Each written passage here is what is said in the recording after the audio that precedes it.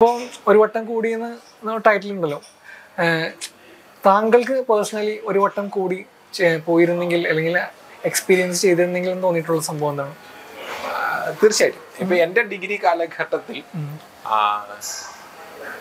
ഒരുപാട് സുഹൃത്തുക്കൾ അവരുടെ പേഴ്സണൽ നീഡ്സ് അല്ലെങ്കിൽ അവരുടെ അവരുടെ പേഴ്സണൽ ലൈഫിലെ ചില സങ്കടങ്ങൾ അതിന് അതിനൊന്ന് കൂടെ നിൽക്കാൻ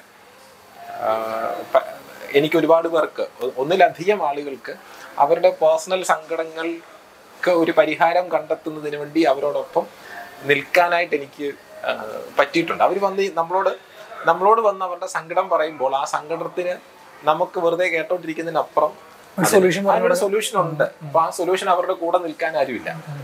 അപ്പൊ അവരോടൊപ്പം യാത്ര ചെയ്യുക. അങ്ങനെ ഒരുപാട് യാത്ര ചെയ്തിട്ടുള്ള ഒരാളാണ് ഞാൻ. അപ്പൊ ആ നിലയിൽ ഈ സിനിമയിലും അങ്ങനെ തന്നെ അങ്ങനെയുള്ള അനുഭവങ്ങൾ അങ്ങനെയുള്ള അനുഭവങ്ങൾ ഉള്ളവർക്ക് കോംപ്ലിക്കേഷൻസ് ഉണ്ട്.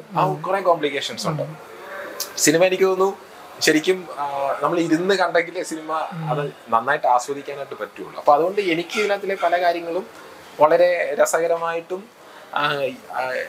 എന്റെ അനുഭവങ്ങളോട് ചേർത്ത് നിർത്താൻ പറ്റിയതായിട്ടും റിലേറ്റ് ചെയ്യാൻ പറ്റുന്ന ഒരു സിനിമയാണ്. ഇപ്പൊ ഒരു നേരത്തെ പറഞ്ഞിരുന്നു ഒരു നാൽപ്പത് നാൽപ്പത്തഞ്ച് വയസ്സുള്ളവരൊരു കഥ പറയുന്ന അല്ലെങ്കിൽ അവരുടെ ഒരു ഭൂതകാലം ചർച്ച ചെയ്യുന്ന സിനിമയാണ്. അപ്പോൾ അങ്ങനെയല്ല. അതായത് നന്നായിട്ട് കോളേജിൽ അടിച്ചു പൊളിച്ച് അടിച്ചു പൊളിച്ച് ജീവിച്ച ആളുകൾക്ക് ഇപ്പൊ ഈ സിനിമ കാണുമ്പോൾ ഓ അങ്ങനെയൊക്കെ ഉണ്ടായിരുന്നല്ലോ ഒന്നുകൂടെ തിരിഞ്ഞു. കാരണം ഇതിനകത്തുള്ള സിനിമയിൽ വർക്ക് ചെയ്ത പല ആളുകളും ഒരു thirty thirty five forties age ഉള്ള ആളുകളാണ്. അപ്പൊ അവരുടെ ഒരു തിരിച്ചുപോക്കാണ് ഈ സിനിമ. ഒരർത്ഥത്തിൽ ഈ സിനിമ. ഇപ്പൊ മിഡിൽ ഏജ് ആളുകൾക്ക് ഇത് കണ്ടു കഴിയുമ്പോൾ കുറച്ച് അവർ ഉള്ളിൽ ഒരു ഫീലോ അല്ലെങ്കിൽ സങ്കടമൊക്കെ വരാൻ ചാൻസ് ഉണ്ടോ? തീർച്ചയായും. ഇതിലെ ഇപ്പൊ ഞാൻ ചെയ്ത പാട്ടല്ല ഇമ്മടി പ്രവീൺജി പ്രവീൺ ജി ചെയ്ത ഒരു പാട്ട് മാതൃസ്നേഹം. അതായത് അമ്മയ്ക്ക് മകളെ വേണ്ട രീതിയിൽ പരിചരിക്കാൻ കഴിയാതെ പോയതിന്റെ വേദന അമ്മ ഓർത്ത് സങ്കടപ്പെട്ട് പാടുന്ന ഒരു പാട്ടുണ്ട്. അത് പ്രവീൺ ജി ചെയ്ത ഈണത്തിന് ചിത്രാമ്മയാണ് കെ എസ് ചിത്രയാണ് ആ പാട്ട് പാടിയിട്ടുള്ളത്. അപ്പൊ ആ പാട്ട് പാടിക്കഴിഞ്ഞ് കുറെ നേരം ചിത്രാമ്മ വിതുമ്പി നിന്നു എന്നാണ് അത്രത്തോളം അപ്പം സാബു സാറ് പാടിക്കാൻ പോയിട്ട് വന്ന് ഇതിന്റെ അനുഭവങ്ങൾ ഇങ്ങനെ പറഞ്ഞു ചിത്രാമ്മ പാടിയ സ്റ്റുഡിയോ എക്സ്പീരിയൻസ് പറഞ്ഞപ്പോൾ ചിത്ര ചേച്ചി കുറെ അധികം നേരം കണ്ണു നിറഞ്ഞിങ്ങനെ നിന്നു എന്ന് പറഞ്ഞു. ഓഡിയോ ലോഞ്ച് നടക്കണം അപ്പൊ നമുക്ക് കേൾക്കാൻ പാട്ട്. അയ്യാ തീർച്ചയായും. ഇപ്പോൾ പ്രേക്ഷകരോട് എന്താണ് പറയാൻ പറയാനുള്ളത് സിനിമയെ പറ്റി? പ്രേക്ഷകരോട് എനിക്ക് വ്യക്തിപരമായിട്ട് പറയാനുള്ളത് നമ്മളൊരു നമ്മുടെ തുടക്കമാണ്. നമ്മൾ എന്നെ സംബന്ധിച്ചിടത്തോളം എന്റെ രണ്ടാമത്തെ പടി ഞാൻ വെക്കുകയാണ്. അപ്പം ഇതിന്റെ പരിമിതികൾ തീർച്ചയായിട്ടും ഉണ്ടാവാം. വിമർശനങ്ങൾ നമ്മൾ തീർച്ചയായിട്ടും സ്വീകരിക്കുക ആ വിമർശനങ്ങൾക്കകത്തും നിങ്ങൾ എന്നെ പിന്തുണയ്ക്കണം വളരാൻ.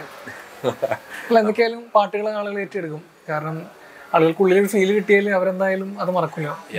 അങ്ങനെ ആയി ആയിത്തീരണം എന്ന പ്രാർത്ഥനയോട് കൂടിയാണ് നമ്മൾ പാട്ട് ജനങ്ങൾക്ക് മുൻപിലേക്ക് വെക്കുന്നത്.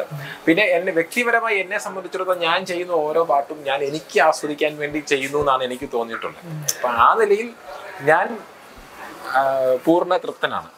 പിന്നെ എന്റെ എന്റെ വീട്ടിൽ എന്റെ കുഞ്ഞ് എനിക്ക് രണ്ട് പെൺമക്കളുണ്ട്. അപ്പം അവർക്കിത് വീണ്ടും വീണ്ടും കേൾക്കാൻ ഒന്നുകൂടെ ഒന്നുകൂടെ നിന്ന് കഴിയുമ്പോൾ ഇപ്പോൾ രാത്രിയിൽ ഉറങ്ങാൻ കിടക്കുമ്പോഴാണേലും അത് തീരുമ്പോൾ വൺസ് അഗെയിൻ വൺസ് അഗെയിൻ എന്ന് പറഞ്ഞ് അവരത് വീണ്ടും വീണ്ടും കേൾക്കാൻ ഇഷ്ടം കാണിക്കും. അവർക്ക് കൂടി ഇഷ്ടപ്പെടുന്ന രീതിയിലാണ് ചെയ്യുന്നത്.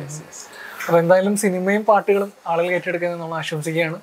വലിയൊരു ഹിറ്റായിട്ട് മാറട്ടെ. Thank you thank you so much ഈ അവസരം തന്നതിനും നിങ്ങളുടെ ചാനലിലും എല്ലാ ആശംസകളും. Thank you thank U